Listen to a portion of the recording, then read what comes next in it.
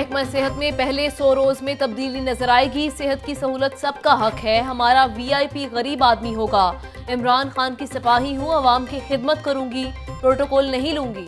صوبائی وزیر صحت ڈاکٹر یاسمین راشد کی حلف اٹھانے کے بعد میڈیا سے گفتگو۔ وزیر اعظم کے ویژن پر با اختیار چیک اینڈ بیلنس والا بلدیاتی نظام لائیں گے پنجاب میں کے پی اور مشرف دور کے بلدیاتی ایکٹ کا امتزاج ہوگا۔ چند روز میں مشاورت کے بعد نیا ایکٹ اسمبلی سے پاس کرائیں گے۔ صوبائی وزیر بلدیات عبدالعلیم خان کی لاہور نیوز سے گفتگو۔ بولے شہباز شریف نے بلدیاتی نظام کے تمام اختیارات اپنے پاس رکھے۔ چیئرمین اور وائس چیئرمین اختیارات کے لیے احتجاج کرتے رہے۔ لارڈ میئر سے کوئی ذاتی رنجش نہیں۔ اللہ نے عزت دی، سب کو ساتھ لے کر چلوں گا۔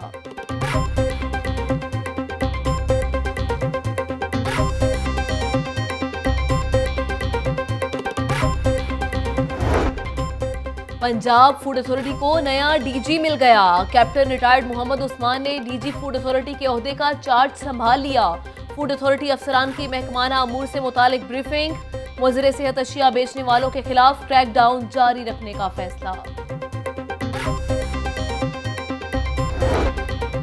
جیل روڈ پر طالبات سے بیگ چھیننے والا ملزم شہریوں کے ہتھے چڑھ گیا۔ راہگیر نوجوان نے تعقب کر کے ملزم کو دبوچ لیا۔ خوب ٹھکائی کے بعد شادمان پولیس کے حوالے کر دیا۔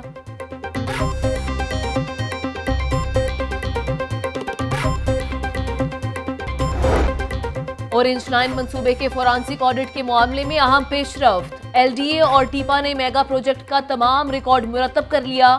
فورانسک آڈٹ کے لیے نیب اور ایف آئی اے کی خدمات لینے کا فیصلہ۔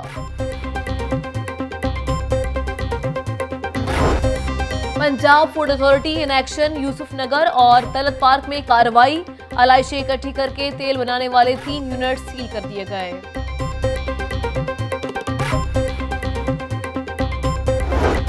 لاہور ہائی کورٹ کا مال روڈ پر ناجائز پارکنگ سٹینڈز فوری طور پر ختم کرنے کا حکم۔ گاڑیاں پار کرنے کے نام پر بھتہ وصول کیا جا رہا ہے۔ درخواست گزار کا موقف۔ عدالت نے چیف ایگزیکٹو پارکنگ کمپنی کو اٹھائیس اگست کو طلب کر لیا۔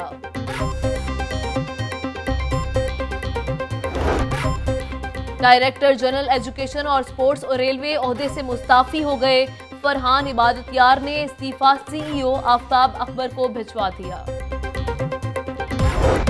اور نئے پاکستان میں وی آئی پی کلچر کے خاتمے کا عزم۔